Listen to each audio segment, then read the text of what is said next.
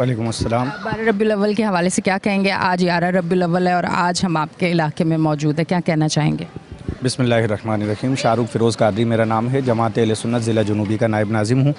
जमात अल सुन्नत के तहत कराची भर में जुलूस मिलाद निकाले जाते हैं और कराची में मरकज़ी जुलूस मेमन मस्जिद बोल्टन मार्केट से निकलता है। और कराची भर के तमाम जुलूस के परमिट होल्डर जमात अहल सुन्नत की तरफ़ से हम हैं।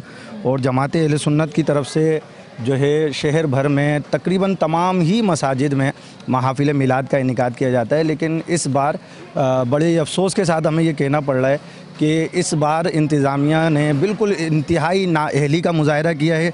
वो जगह, वो चौराहे, वो गलियाँ के जिनसे लाखों लोगों का गुज़र है, हज़ारों लोग उससे मुतासिर होते हैं और फिर उन गलियों में भी वो ये हाल है कि सेवरेज का गंदा पानी, बारिश हुए महीना होने को आ गया है और सेवरेज का गंदा पानी ज़मीन से निकल रहा है। गटरों से जो है सेवरेज का पानी आ रहा है और जिसकी वजह से गलियाँ गंदी हो गई हैं और यूँ कह लेंगे शहर जंगल का मंजर पेश कर रहा है। हाल ये है कि आप अगर एक इलाके से दूसरे इलाके की तरफ़ जाते हैं और आप इस बात की ज़मानत नहीं दे सकते कि आपके कपड़े पाक रहेंगे। तो मस्जिद आने वालों को जो परेशानियाँ हो रही हैं महफिल मिलाद मुनद करने वालों को जो परेशानियाँ हो रही हैं, दो जुलूस हमारे सदर टाउन में निकले हैं। दो जुलूसों में ये हुआ है कि 500 से हज़ार अफराद की तादाद थी और वो गंदे पानी से गुजर कर गए। ये वो जगह हैं कि जो सारे साल का जो है हमारा इंतज़ामिया से ये ये बात पहले से हुई हुई होती है कि इन जगहों से हमारे जुलूस गुजरने और सदर टाउन की मीटिंग हो, मेयर कराची साहब से बात हो, इन सारी जगहों पर जब हम किसी पॉइंट को रेज़ करते हैं तो हम ये देखते हैं कि इदारे टाल मटोल करते हुए नज़र आ रहे हैं।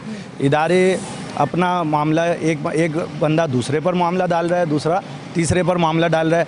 कहीं सुई गैस के मसाइल हैं कहीं गंदे पानी के तो मसाइल। इस बार जुलूस में कितनी मुश्किल हुई हैं जो आप एरिए की सूरत हाल नज़र आ रही है? जी जी। मैं अर्ज़ कर रहा हूँ ना कि जो जुलूस हमारे निकले हैं जो रैलियाँ हमारी निकली हैं गंदी सड़कों की वजह से हमें रूट चेंज करने पड़े। कल एक जलसा हुआ है जिसकी जगह हमें तब्दील करनी पड़ी कि जहाँ का एनओसी लिया गया था उस जगह पर जलसा हो ही नहीं सकता था। जगह इतनी गंदी थी हर साल जलसा वहाँ मुनद किया जाता है और गंदगी की वजह से जगह तब्दील करनी पड़ी। जुलूस बच्चों के निकलते हैं, मदारिस के बच्चों के जुलूस। सिर्फ़ आज के दिन सदर टाउन में मेरी मालूम के मुताबिक सात मदरसों के जुलूस थे। और उन सात मदारिस में से चार मदारिस के जुलूस जो है, उनको रूट तब्दील करने पड़े हैं कि जिनके रास्ते गंदगी की वजह से ख़राब हुए पड़े हैं। यहाँ इस वक्त हम ताहा मस्जिद पर खड़े हैं तो ताहा मस्जिद की गली आपके सामने है।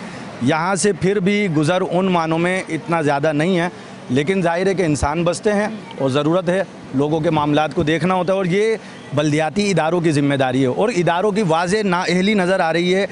टाउन चेयरमैन की मीटिंग में जब हमने सेवरेज के मसाइल को रेज़ किया तो टाउन चेयरमैन ने हमें ये जवाब दिया कि सेवरेज मेरे अंडर नहीं है।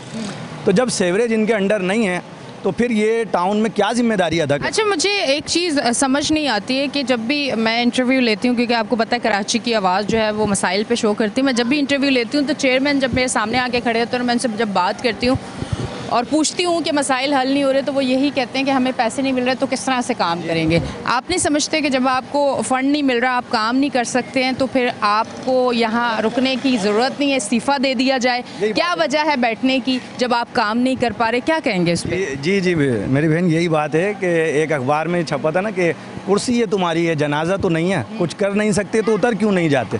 तो ये जो है ये वो लोग हैं कि जिन्हें सिर्फ़ कुर्सी से प्यार है। देखें, आपको सदर टाउन का चेयरमैन ये कहेगा कि मेरे पास सेवरेज के इख्तियार नहीं है।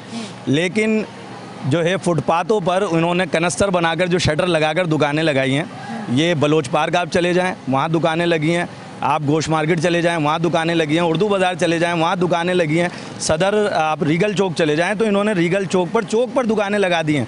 तो ये तो एक तरह से अ, सदर टाउन के चेयरमैन का काम तो ये था कि वो इंक्रोचमेंट को ख़त्म करते। ये तो कब्ज़ा माफिया बन गए और इन्होंने जो है रोज़गार स्कीम के नाम पर फुटपाथों को घेरना शुरू कर दिया जबकि इस इदारे का काम तो इंक्रोचमेंट को ख़त्म करना है। तो ये असल में नज़र यही आ रहा है कि देखें इनके पास इख्तियार है तो अवामी पार्कों में मेले लगाने का इख्तियार है। जिन पार्कों में आवाम को फ्री एंट्री मिलनी चाहिए उन पार्कों में ये पचास रुपये लेकर एंट्री दे रहे हैं। तो असल में दिहाड़ी बनाने आए हुए हैं। अपने अखराज निकालने आए हुए हैं जो इलेक्शन पे खर्चा हुआ है ना उसको आवाम से वसूल कर रहे हैं। आवाम बेवकूफ़ है कि ज़ाहिर है वो वो वोटर कि जिन्होंने इन पर अतमाद किया वो वो बेवकूफ़ी कर गए ना कि उन्होंने इन पर अतमाद किया उन्होंने इनको वोट दिया उन्होंने लीडर का चेहरा देखा उन्होंने कारकुन को नहीं देखा कि हम जिसे वोट दे रहे हैं ये जीत कर जाएगा तो काम क्या करेगा? लेकिन खैर इस वक्त हमारा मौजू नहीं है। बारह रबी अव्वल के हवाले से कोई मैसेज देना चाहें? मैसेज यही है कि देखें आ, हम ये कहते हैं जमात अहले सुन्नत की तरफ़ से कि मकसद क्या है ये तो बताओ तो जश्न विलादत मिल के मनाओ। हुजूर नबी करीम सल्लल्लाहु अलैहि वालैहि वसल्लम अल्लाह तबारक व ताला की सबसे बड़ी रहमत है। और हुजूर नबी करीम सल्लल्लाहु अलैहि वसल्लम का मिलाद ता क़याम क़यामत जारी व सारी रहेगा। निश्तर पार्क में जमात अहले सुन्नत के जलसे में सन 2006 में जब धमाका हुआ तिरसठ जनाजे हमने उठाए। उसमें उलमा भी थे, उसमें नाथवा भी थे, उसमें हुफाज कराम भी थे, उसमें तंजीमी अहदेदारान भी थे। जब वो जनाजे उठे, लोगों ने सोचा कि अब ये जो है मिलाद नहीं मनाएँगे। लेकिन देखें, सदाएँ दुरूदों की आती रहेंगी, जिन्हें सुन के दिल शाद होता रहेगा। खुदा अहले सुन्नत को आबाद रखे, मेरे आका का मिलाद होता रहेगा। मिलाद तो ता क़याम क़यामत जारी व सारी रहेगा, ये मसाइल रहेंगे। लेकिन ऐसा नहीं कि अगर मसाइल हल नहीं होते तो हम मिलाद मनाने छोड़ दें। हम अपने तौर पर गलियाँ साफ़ भी कराते हैं, हम अपने तौर पर लाइटिंग भी कराते हैं और जितनी लाइटिंग अहल सुन्नत के तहत मिलाद के मौके पर की जाती है, उसके बिल भी अदा किए जाते हैं।